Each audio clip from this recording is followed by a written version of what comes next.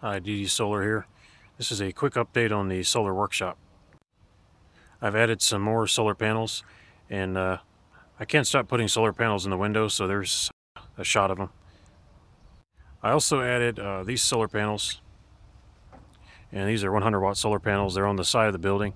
I just installed them and I'm going to do a little tweaking but uh, they're pretty much permanently installed. To install them I use various fasteners and hardware I had laying around in addition to some self-drilling metal screws that I bought on eBay.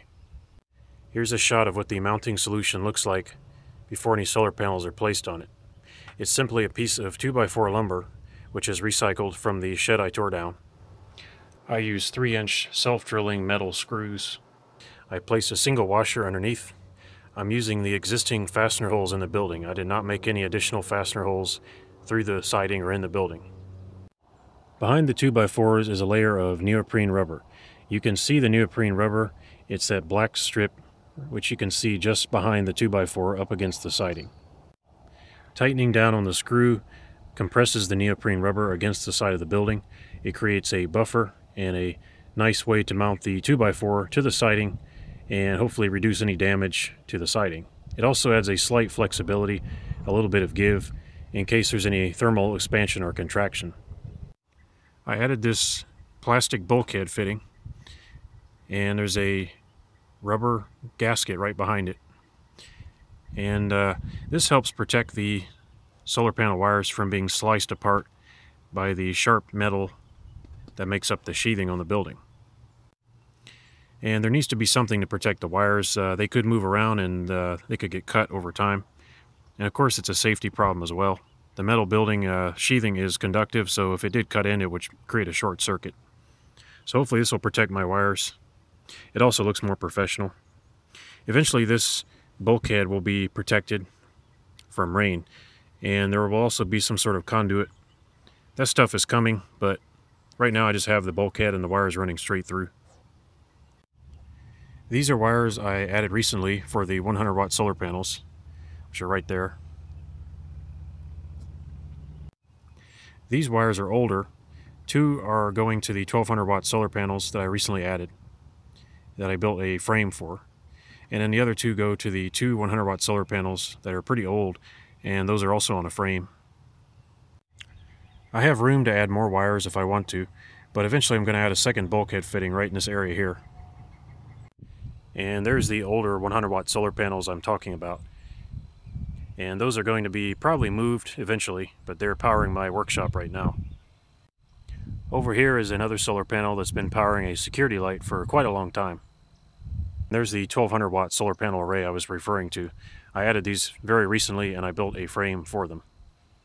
Here's the construction progress on the other side of the wall so far. The bulkhead fitting has been installed in the metal siding. I've cut out the green foam board insulation so I can get access to that area. And these are the large PV conductors that come in from the 1200 watt solar array, as well as the smaller 200 watt solar array. And I'm doing some cable management. I'm not done. This is all work in progress. And the cables come out here and they go into these wire clips. Let me go ahead and pan up and show you that. So there's the cable clips. I'm not done. I'm still working with the wires, but it's a lot neater. And you can see that they kind of hold everything and keep the cables from moving around. I'm going to work on the arrangement a little bit more, get it to look a little bit better. And it goes all the way up there. They go into the circuit breakers, which this whole thing is under construction, but it's starting to look better. And here is an update on the solar power equipment board. You can see I've done some additional work on the wiring. It's still under construction. There's a new voltmeter added in the upper left hand corner of the voltmeter area it's uh, right there. And it's currently reading 55 volts. That's the 1200 watt solar panel array, which is feeding the grid tie right there. On the right, you can see a orange voltmeter. And the orange voltmeter is showing the voltage of the solar panel array, the two 100 watt solar panels. The inverter on the left here has had its fans modified. I could no longer stand the uh, fan control algorithm in that inverter. So I opened it up and I cut out all the wires feeding the fans and I took over the fans myself. So there are now five fans on this inverter using two separate redundant power systems, one of which is solar powered. and I may make more videos on that later. But currently, uh, that's how the inverter is running. The inverter fans turn on, they stay on, they don't turn on and off, they don't make annoying sounds, they don't blip and rev every time a cloud comes over. And there's no glitches or weird behavior, so that's very good. Here are the wires to the solar panel I just added. This is uh, the solar panel that's on the left of the two that are mounted on the wall of the solar workshop. I have not yet connected it to anything. The right hand solar panel, which is mounted on the wall, is connected to that green voltmeter, and I've been using that for various purposes. I also made a video about making tea using that very solar panel, and you can check that video out separately. Next update is I took this power board out of my solar shed, and this power board was used, among other things, for charging my lithium iron phosphate powered lawnmower. If you've seen my other video about this, you'll recognize this board and this charge controller. This is the MPT7210A Boost charge controller, and I've been using that to charge my mower with some success. This board will now live in the solar workshop. It's installed right next to my lawnmower where it parks, and I'll be using it to charge my lawnmower. I have not yet powered it up. This circuit breaker here has no wires attached to it. I just now installed the board and I haven't run the wires to it yet.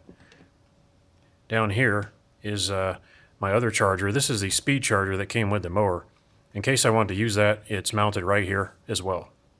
This charger is very powerful, and if I need to really fill up the mower with power really quick, this is the best way to do it. And there's the lawnmower. You can see that it's parked right next to the power board and the charging area. So this will allow me to drive right in and plug in the charger when I'm done mowing. I did not record it but I had to do some uh, electrical work on this mower earlier today. And the voltmeter that I installed was not giving me proper readings, and it's been this way since last season. It's very hard to tell what the mower is doing, what the battery status is. The voltage would just float all over the place, and it would go up and down, and it was very random and becoming pretty much worthless. Here's a closer look at the voltmeter in question. So that's the voltmeter right there. It's actually one of those uh, lithium-ion battery gauges slash voltmeters it does the job. And it was starting to read really randomly, and it was not accurate. It was causing me a lot of trouble. But now the readings are stable. When I turn on the voltmeter, it reads accurately. It doesn't jump all over the place anymore. It was a lot of work, but lesson learned, if you have a bad switch, it can cause a lot of problems. The green cable, which is hanging there, it's been hanging there since last year. That's a new charge cable that I purchased for this mower. I haven't installed it yet. But uh, I did pick the green color on purpose. Maybe I'll make a video about that or something. So eventually that cable is going to be used to connect the mower to the Boost solar charge controller. The current cable is rather thin. That's a much thicker cable, so it should be uh, helpful in charging the battery. I haven't done very much video on this mower. I have some upgrades and plans I want to do for this mower, and hopefully I'll be able to make videos. Currently it has a 16 cell lithium iron phosphate battery in it, and I would like to add more capacity, certainly. Maybe some kind of uh, better gauging or instrument to measure the battery, something better than a voltmeter. But uh, we'll see how that goes. Maybe I'll make some videos about it. One last quick update. This is a MakeSkyBlue solar charge controller. Currently it's running my security lighting and it's charging the battery during the day from a 100 watt solar panel and then at night the floodlight comes on outside the building. This charge controller has a real difficult time sensing night and day when used with a single 12 volt panel, so I would not recommend this charge controller to be used with a single 12 volt solar panel with an open circuit of 18 to 20 volts. For some reason it demands over 18 volts before it will sense that it's daytime. That's really annoying. However, beyond that glitch, it's working pretty good. It's doing what I want. I may replace it with something else later. But as for right now, I'm just going to leave it running. It handles my lighting, and uh, should be good enough for now. Here is the Floron solar generator. I previously made a video about this solar generator in which I removed and disabled the vacuum fluorescent display. The controller had failed and was lighting up all the segments, which means it got pretty hot, or warm, and it was wasting power. It was basically like a, a big heater on the front of the display. So in that video I disabled it, and I replaced it with a digital voltmeter, which you can see right here. So far, this solar generator has been successful in powering my workshop. I'm going to just keep it right here on the workbench slash battery shelf and uh, keep it working and get my money's worth out of it. Here is a miniature portable power system. It's this thing right here. It's functioning like a solar generator. There's a small solar panel feeding it. I upgraded it with a LiPo battery to increase the storage capacity. Right now all I use it for is lighting. There's a miniature USB lamp that I bought to run off of it. It doesn't light the entire room, but it does produce a noticeable amount of light. Okay, that's about it for this Solar Workshop update. I don't want it to get too long. In the coming weeks, I expect to have several new projects and videos uploaded. In the meantime, this video is just a quick update to show you the status of the Solar Workshop and different things I've been working on. Thanks for watching, and I'll see you later.